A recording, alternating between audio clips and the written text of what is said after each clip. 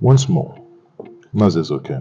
here, as promised us, that I was going to go back to Ebonyi State and to bring to us the status of the Ebonyi International Airport. That promise is here once more fulfilled. I went to Ebonyi State to see this marvelous airport. As always, sit back and enjoy as you enjoy this journey with me. Ebonyi State International Airport was started about five years ago. That airport is the fourth airport in the southeast. It must be noted that all the airports in the southeast were all built by the various states. This is the road to the airport. This road is about 3.5 kilometers long. A very, very well done road. This road, unlike every other road in Ebonyi State, is done on concrete pavement. The state, under Governor Dave Umahi, Those every single construction in that state on concrete pavement. There are two entrance gates to the airport. One that will lead you onto this road after a bridge. Second one is the one that will lead you into the airport. There are, under Dave Umahi, about 23 flyovers constructed within the last 80 years in Ebonyi. It will be fair to say that the governor has transformed the face of Ebonyi State as it concerns infrastructure. It is my considered opinion that he has built the state as if there was no governor before him because everything you see in Ebonyi State appears to be built by him. At this point, let us get into the airport. As I said before, this is the entrance to the airport. You will see security personnel and you get cleared. You allowed to get into Ebonyi State international passenger and cargo. The car park at this airport is well laid out. According to the Commissioner for Information for Ebonyi State, this car park took a bill of about 1.8 billion naira all done with concrete pavement. The airport terminal you are looking at here is one of the best airport terminal you can see in Nigeria today. Sit around. Let's go inside the airport. Inside the airport, you have state-of-the-art facilities you have an escalator. You have the finest of materials used at this airport.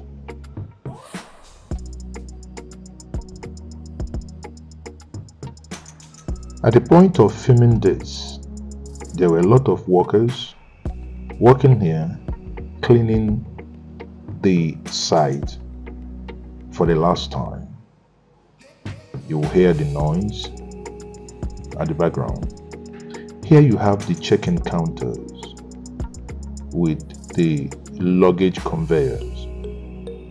This is indeed very good. This is the airport terminal, once more as I said. This airport terminal is split into two. You have the local and international. When you go up, we will still see the two sides of that sitting arrangement. And here is Mazezo again. Before you accuse me of showing you something in a different country, not in Nigeria, I say, let me show my face.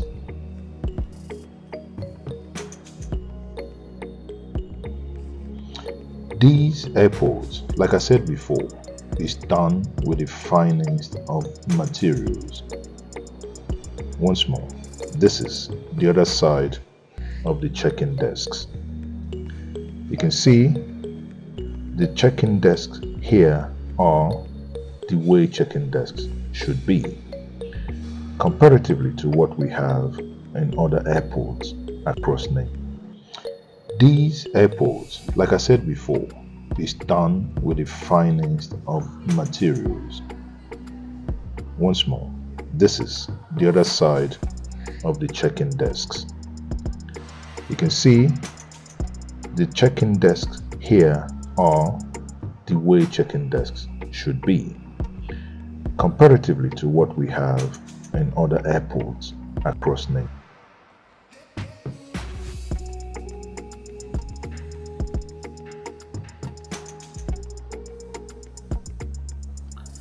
Here you have the escalator, the lift and the stairs to go up.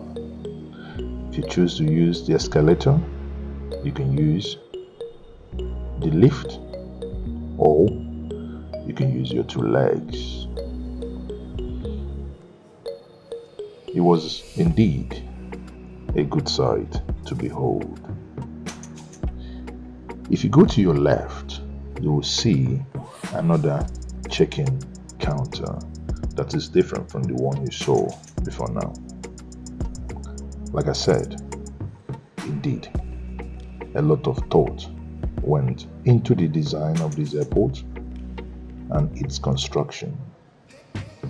On the floor, you have there marble. Compare that to quote unquote some international airports where you have tiles that do wear out because of traffic. But here you have a high density marble being used on the floor.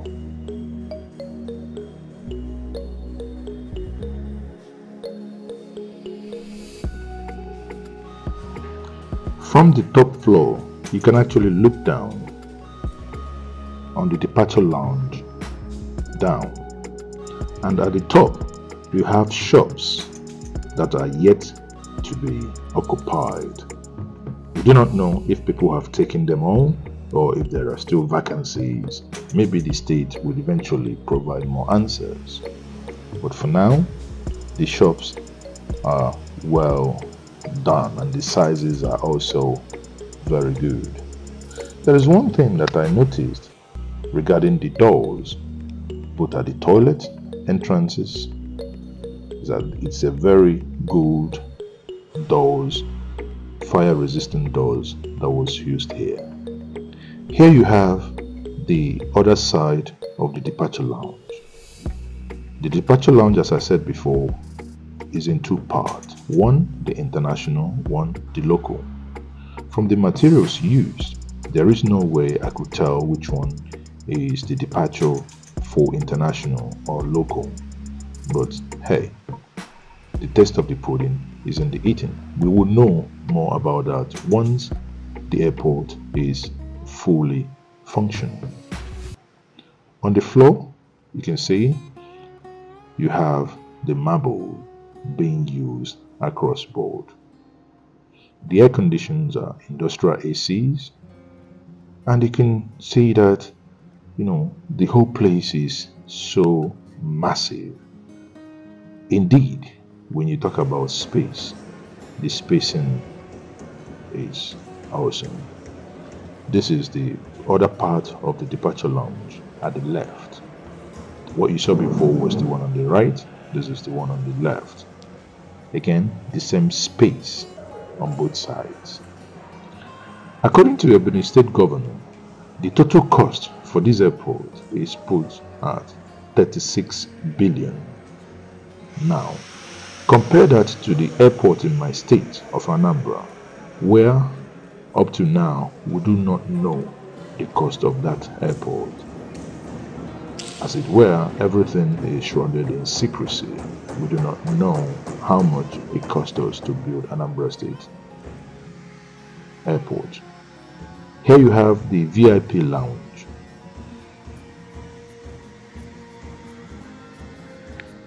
Ebonyi State Airport will serve, obviously, the people of Ebonyi, Abia, Benue, Obudu Range, Calabar, Enugu, Anambra, and other states surrounding it. The airport, as I noted before, is the fourth airport in the southeast. The airport is both passenger and cargo. It has secured approval for inaugural flight which has happened a couple of days ago. It must be noted also that the Ebonyi State House of Assembly members forfeited three years of their constituency project funds in order to channel those funds to completing these airports. What it means is that the 36 billion that was used for this project came from the state.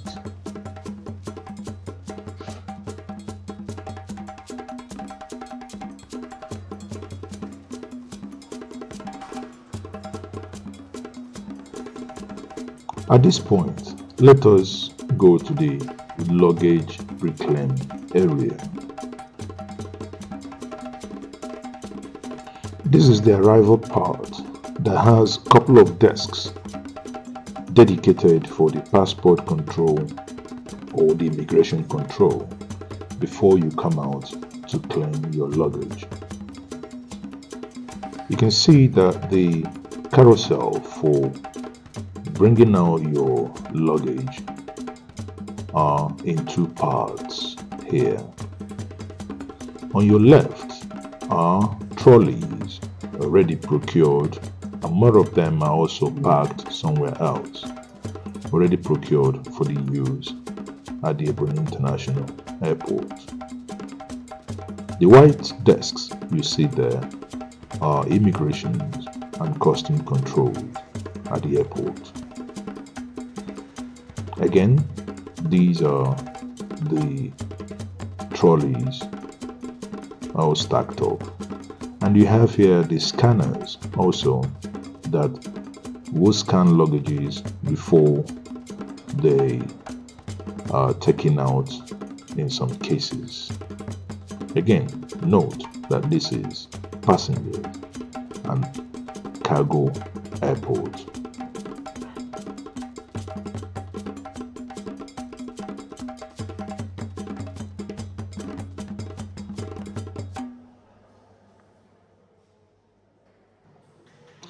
This airport, when it becomes fully operational, will help the people of Ebonyi to export their farm produce and also help them to earn foreign currency. This would also help Ebonyi to be a more independent state, which would increase their internally generated revenue. It is indeed a masterstroke as it will create more job within the airport and its surroundings. The airport is located at Onueke, Izi South local government area of Ebonyi State.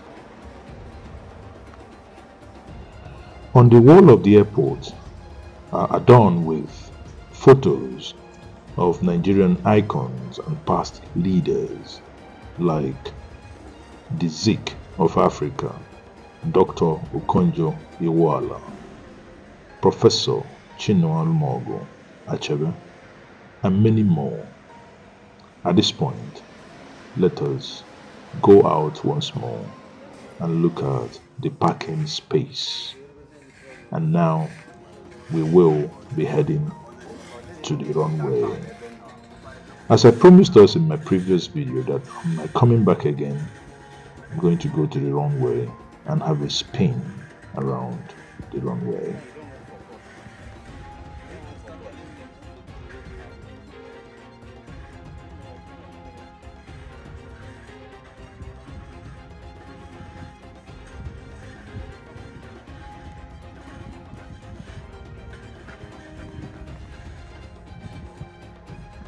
To have access to the runway, you need to clear through a gate because this is a highly secured area that not everyone would have access to.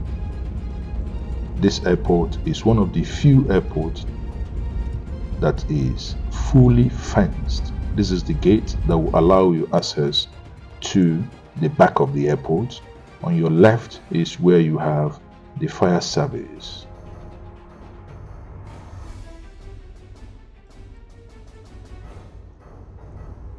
Driving on the apron to gain access to the runway. Indeed, a very smooth drive. It must be noted that Ebonyi State International Airport is built on a concrete pavement that has a lifespan of over 50 years. Yes, you had it right. 50 years. The runway is the thickest runway in Nigeria at 65 centimeter concrete pavement.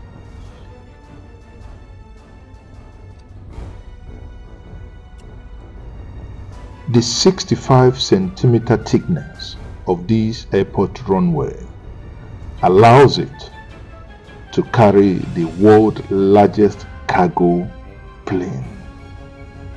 The world's largest plane can land at this airport. There is no other place in Nigeria that has this level of thickness, that has this concrete pavement runway that can do that. That alone sets Ebonyi apart. And that is the likelihood to attract much cargo planes to land here.